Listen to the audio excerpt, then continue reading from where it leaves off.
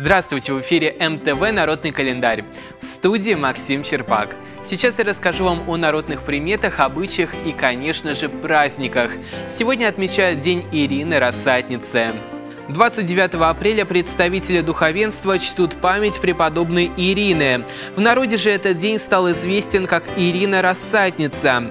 Главный запрет в этот день – игнорирование правил по высаживанию капусты. Крестьяне говорили, что для того, чтобы был хороший урожай капусты, женщинам необходимо надеть на себя лохмотья, которые напоминают капустные листья, а также прихватить с собой треснутый горшочек, внутрь которого кладут кустик крапивы.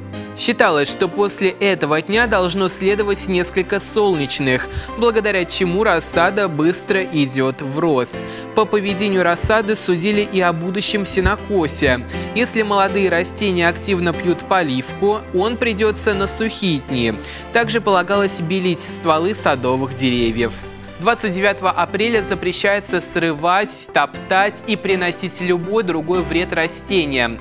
Считается, что в этот день растения едва ли не священные, поэтому покровительница этого дня явно не одобрит плохое отношение к этим созданиям. Один из запретов в этот день – это ссора супругов. В народе говорили, что если супруги будут слишком часто ссориться, это может привести к фатальным последствиям. Например, они в скором времени могут разойтись.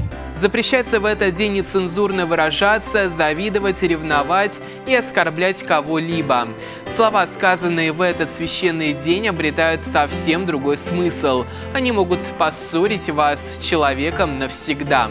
Поэтому следует следить за тем, что вы говорите. Также говорили, на ольхе распустились цветы, настала пора засевать гречиху. Запылала лещина, значит можно сажать лес.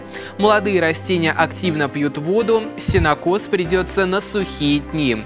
С Ирины пару дней солнца рассада будет удачной, а урожай будет хорошим. Ну а сейчас по традиции в конце выпуска поздравим наших именинников.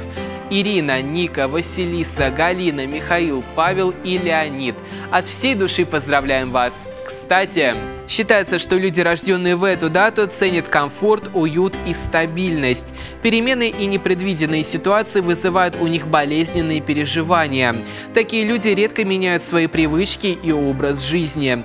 Периодически однообразие вызывает у них усталость, и они бросаются на поиски приключений и новых впечатлений. На этом у меня все. Желаю хорошего дня и помните, только на МТВ, несмотря на приметы и прогноз синоптиков, всегда хорошая погода. Thank you.